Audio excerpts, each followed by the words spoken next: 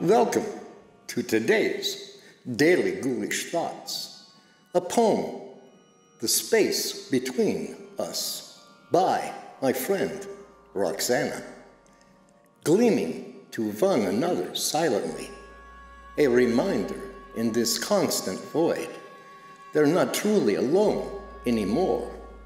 In a different way, they would be lovers, are forever joined remaining out of reach, it seems for an eternity of time. It, in separate galaxies, they must stay. Hands outreached, far apart, but connected by an invisible string, always.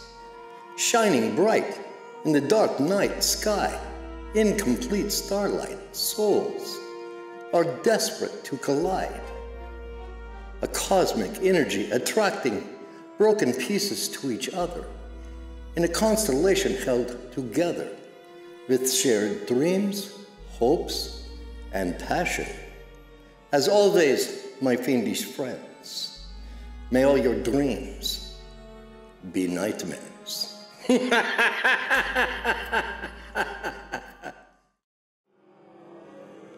Have you ever fancied yourself being on a team, playing with others, running around a field throwing balls with each other?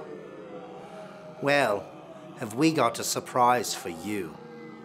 Here is Dr. Ghoul's baseball hat. Perfect for all you little monsters who like to play. The Dr. Ghoul Show is sponsoring a baseball team called, of all things, the Bats. this can be purchased along with t-shirts and mugs through the Dr. Ghoul Etsy shop. Enjoy, my ghoulish fiends, and play safe.